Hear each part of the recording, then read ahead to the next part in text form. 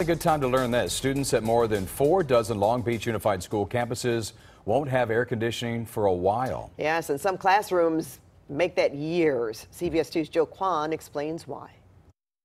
It's hot out and kids are back in school. My kids were sweating before they even walked into the classroom this morning. Casey Bullard's kids are in kindergarten and second grade here at Prisk Elementary. Most of the classrooms don't have AC. This is the first day here at Prisk Elementary and I just checked the weather. It's supposed to get up to 84 degrees during the school day. The school's bungalows or dozen portable classrooms you see here do have AC, but Ricardo Mack's kids are in rooms without. I know that it's difficult for the kids to concentrate because of the, the extreme heat. 60% of campuses in the district are in the same situation as Prisk. Some will get AC soon, but most classrooms here at Prisk will have to wait until 2025 to cool off. 2025. Wow.